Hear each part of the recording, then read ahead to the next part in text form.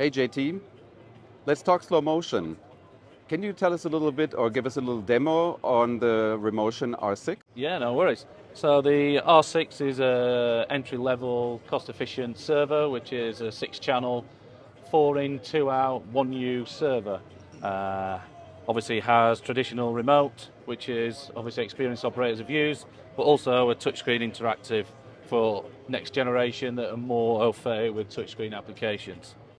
No matter how sort of expansive your knowledge is, it becomes very intuitive solution to use. You can make clips, make playlists, interact with the touchscreen to control all channels of your records using the touchscreen, have an instant access to that. These can also be networked and obviously share content between devices.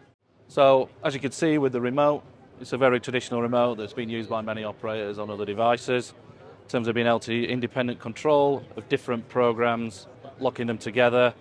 Obviously jog, jog wheel and the T-bar for precise replay actions.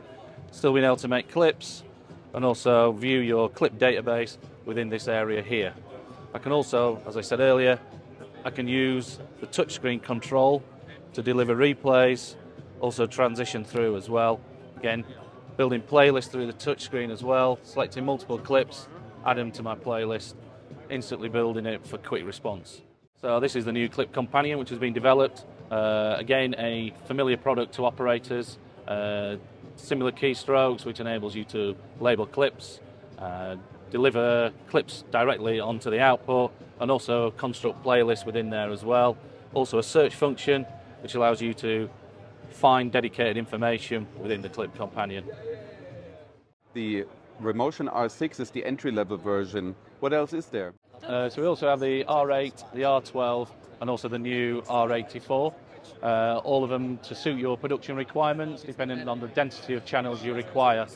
Specifically looking at the R84, that offers the 8 in 1080p and 4 in UHD, and also available in HDR as well.